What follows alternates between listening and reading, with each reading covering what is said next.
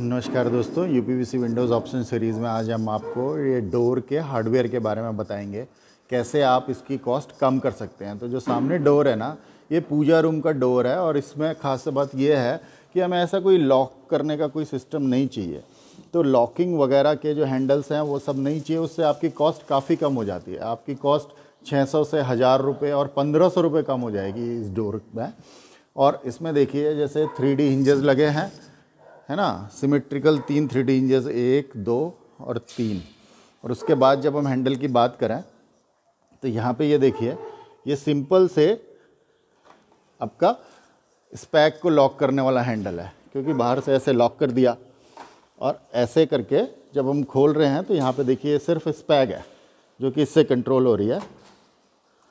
ऊपर नीचे जा रहा है, देखिए। और उसके बाद अंदर से ऐसे सी हैंडल दिया हुआ है है ना?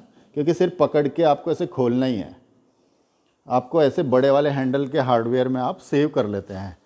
तो इस टाइप की कॉस्टिंग आप सेव कर सकते हैं जगह के अनुसार, क्योंकि ये आपका पूजा रूम है, इसमें आपको ऐसे कीज़ और लॉकिंग का नहीं चाहिए आपको, और हैंडल भी आपको सिंपल चाहिए।